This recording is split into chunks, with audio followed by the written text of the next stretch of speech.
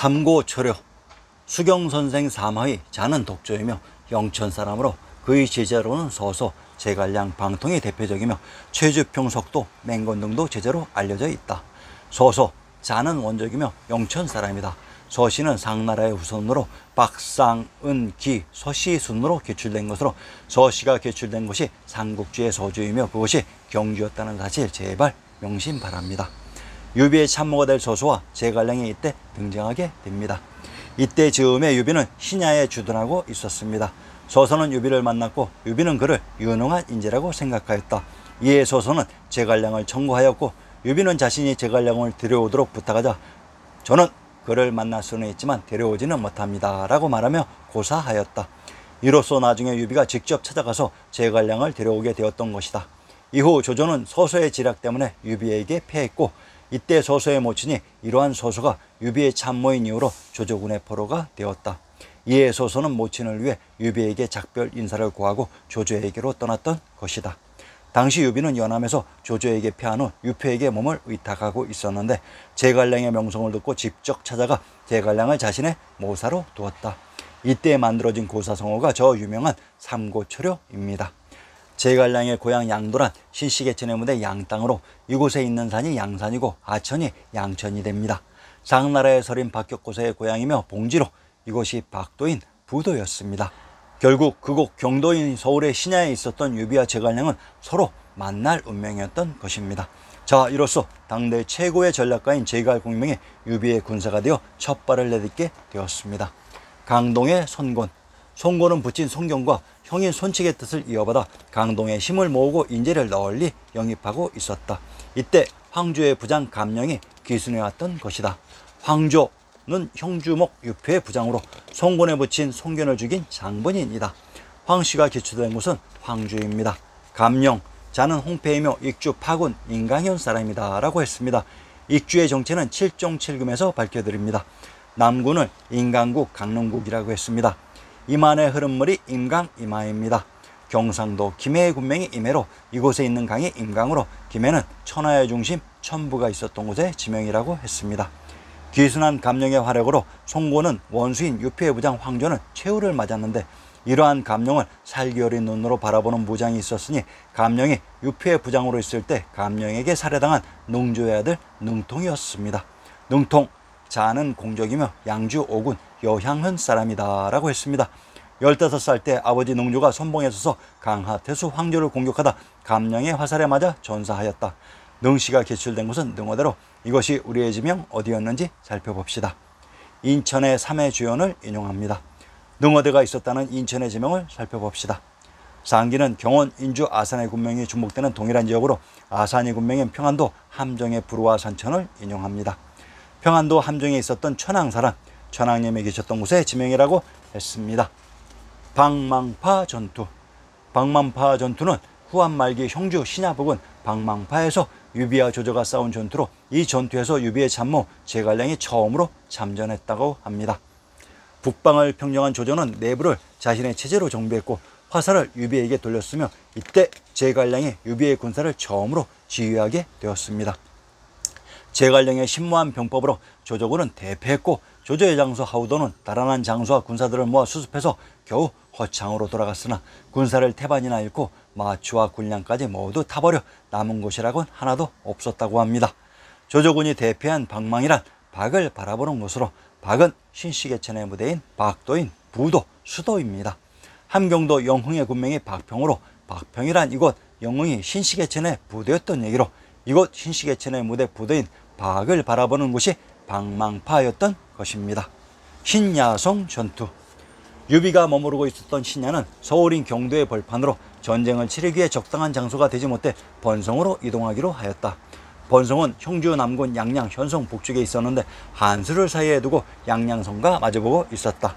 형주인 양양에 흘렀던 한수인 한강의 강 너머에 번성이 있었던 것으로 문제는 신야의 백성 모두가 유비를 따라 번성으로 가고자 했으므로 어떻게 하면 이들 국가의 근본인 백성들을 모두 무사히 이동시킬 수 있는가에 대한 문제가 발생했던 것이다.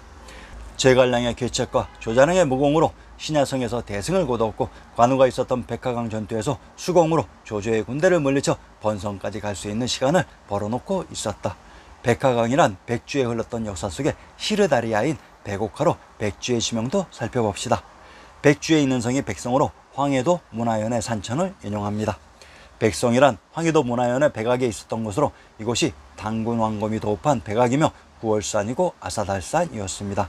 현재 청와대의 뒷산이 북악산인데 정상에 올라가면 북악산을 백악이라고 합니다. 하얀 것은 밝은 것이기 때문에 박이 되며 빛나는 양이 되기도 합니다. 한편 조조는 유비에게 서신을 보내 마지막으로 투항을 권유했고 이 서신을 가져온 조조의 신하는 옛 유비의 사람이었던 서서로서 서서의 유비에 대한 감정은 아직까지도 애틋했나 보다. 서서는 조조가 직접 대군을 이끌고 올 예정이라는 정보를 주고 제갈량은 그러면 번성보다는 양양성이 대군을 맡기에 길지로서 번성에 온 신야의 백성들에게 양양성으로 갈 것임을 고지하지만 번성의 백성들까지도 모두 짐을 싸고 동참했던 것이다. 그러나 양양성을 지키고 있었던 유표의 처남 채모는 유비와 백성들을 받아주지 않았고 어쩔 수 없이 유비는 백성들을 이끌고 강릉으로 향했습니다. 백성들을 이끌고 느린 속도로 행군하는 위험한 장정에 올랐던 것입니다. 유비가 향한 역사 속 강릉과 함경도 경흥은 경흥의 군명에 중복되는 동일한 지명으로 공성이란 이것이 공시가 제출된 노나라의 곡부로 천부가 있었던 곳의 지명이었습니다. 유종의 최후 유표에게는 두 명의 아들이 있었는데 전초 소상의 큰아들 유기와 현처인 최씨 소상의 유종으로 유표는 전환 경제의 같은 후손인 유비에게 형주를 물려주고 싶었으나 유비가 계속 거절하였고 큰아들 유기는 현처인 최씨와 동생 채모에 거듭된 위협으로부터 피해 유비에게 의탁하고 있었다. 순리를 따르면 좋으련만 아무래도 현처 애처의 입김에 쓰였나 보다.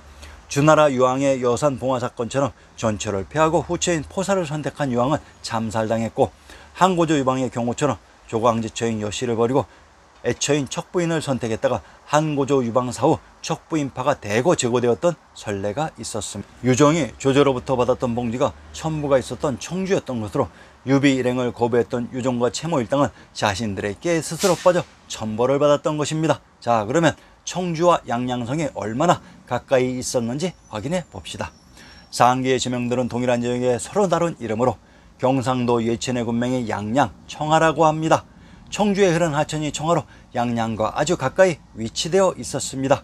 어떻게 현 중국 역사라고 하는 삼국지의 모든 지명들이 이렇듯 우리의 지리진 신증 동국 여지 순남과 교화 수착처럼 딱딱 일치되고 있습니다. 장판파 전투 강릉으로 향하고 있던 유비는 황류가 있었던 하구를 지키던 유기에게 지원군을 요청하고 제갈량과 관을을 보냈고 제갈량이 없는 유비의 군대는 조조군의 기습에 뿔뿔이 흩어지고 조자량은 또한 적진 쪽으로 달려갔다는 투항 소식을 듣게 된다. 한편 적진으로 말을 몰던 조자량은 간홍공과 간부인을 만나 미촉 미방에 누유했던 미부인이 유비의 아들 아두를 데리고 있다는 소, 소리를 듣고 더욱더 적진 속으로 들어가고 있었다. 이때 조조의 군사에게 체포된 미축공을 구출하고 장판교에 있는 장배에게 인계한 후 자신은 미부인과 아들을 찾지 못하면 돌아가지 않을 것이라는 비장한 결심으로 적진 속으로 다시 출발했다. 천지신명의 도움이 었을까 아들을 안고 있는 미부인을 발견한 조자룡은 미부인에게 다가갔고 이때 미부인은 자신이 아두 탈출을 위해 방해가 될까봐 우물에 몸을 던져 자결하였던 것이다. 적진 한가운데서 조자룡의 무공은 승천하는 용의 용비어천으로 금병산에서 전세를 관망하던 조조는 조자랑의 무공이 아까워 생포 명령을 내리고 이에 이것을 감지한 조자랑은 화살에 대한 두려움을 떨치고 자신의 무공을 마음껏 자랑했던 것이다. 또한 필마 단기로 조조의 대군을 장판교에서 막아낸 장비 역시 장판교의 영웅이었습니다. 조자룡과 장비의 무공이 빛났던 장판파의 지명을 분석해 봅시다. 우선 장비가 버티고 서서 조조의 대군을 막은 곳이 장판교라고 했는데 장판교를 장교, 당양교, 파릉교, 관교라고 합니다. 경기도 양천의 군명의 파릉은 파 지역에 있는 능침이 파릉으로 천부가 있었던 파축의 파였습니다. 이곳은 또한 제갈량의 고향인 양도입니다. 경기도 양천의 군명의 파릉으로 경기도 양천은 제갈량의 고향 양도와 동일한 지역으로 결국 제갈량의 병법은 자신의 고향에서 손바닥 들여다보듯이 진행되었던 것입니다. 유비와 손권 천하에는 일일 승천하는 최강의 조조와 이제 기반을 잡은 손권과 유비가 있었다. 조조와 유비가 손잡으면 손권이 무너질 것이며 그리고 그 다음 희생양은 유비가 될 것이고 조조와 손권이 손잡으면 유비는 무너질 것이며 그리고 그 다음 희생양은 손권이 될 것이다. 그러나 유비와 송곤이 손을 잡으면 팽팽한 구도 속에 누구의 희생도 따르지 않을 수 있다. 이것이 천하삼분 지계입니다. 조조의 강인함에 위기의식을 느낀 유비와 송건은 주전파인 강동의 노숙과 제갈량의 회합으로 드디어 연합의 길을 열어두고 있었다. 채모와 장윤 어느 날 조조의 진영에서 사신이 와서 강동의 대토독인 주유에게 조조의 서신을 바치려고 했지만 이미 주전의 의지가 확고한 주유는 사신의 목을 베어 조조에게 선전포고를 했던 것이다. 이에 조조는 수군과 육군을 동원했는데 주유의 관계에 성질 급한 조조가 수군 장수 채모와 장윤의 수급을 베었던 것입니다. 적벽대전의 결전 준비를 하면서 부족한 화살을 채워줄 수 있을지 주유는 제갈량에게 청하였고 제갈량은 안개 낀 운물을 이용해 볏집을 가득 채운 배를 이용해 조주의 수군을 농락하며 부족한 화살을 모두 채워 주유에게 전달하니 주유는 공명의 제락을 두려워하며 언젠가는 그를 제거시킬 것을 다짐한다. 고육지계 거짓 항복한 조조의 접자 체중과 체화를 역으로 이용한 황계의 고육지계로 조조는 깜빡 속게 되며 이제 마지막 남은 비카드인 봉추가 적벽대전의 개막을 위해 움직이기 시작했다. 방통, 자는 사원이며 형주 남군 양양현 사람이다. 별호는 봉황의 새끼라는 의미의 봉추이다. 제관량과는 사마휘의 제자이면서 같은 고향이다. 제관량과 봉추가 병범에 능했던 이유는 그곳이 자신들의 고향이었으니 지리에 아주 익숙했기 때문입니다. 병법에는 능하지만 지리에 익숙하지 못하면 병법을 전혀 사용할 수가 없습니다. 어느 날 주위의 소식적 친구로서 조조의 수군 장수 채무와 장윤을 처형시킬 때 이용했던 조조의 책사 장관이 주위를 다시 찾아왔던 것이다. 방통의 카드를 숨기고 있던 주유에게 장관이 드디어 제 발로 찾아온 것이다. 이에 주유는 장관에게 몹시 화를 내는 척하며 방통이 기고하고 있는 암자 곁으로 장관을 보냈고 이후 장관은 방통의 계략에 빠져 조조의 진지로 방통을 데려갔던 것이다. 천하의 봉추가 조조를 방문한 것을 매우 기뻐하던 조조는 방통에게 많은 자문을 구했고 결국 적벽대전의 대지향이 된 모든 배들을 쇠사슬로 묶고 고정시키는 악수를 두게 되었던 것입니다. 다음 회에서는 적벽대전을 밝혀드리겠습니다. 많은 관심과 구독 부탁드립니다. 감사합니다.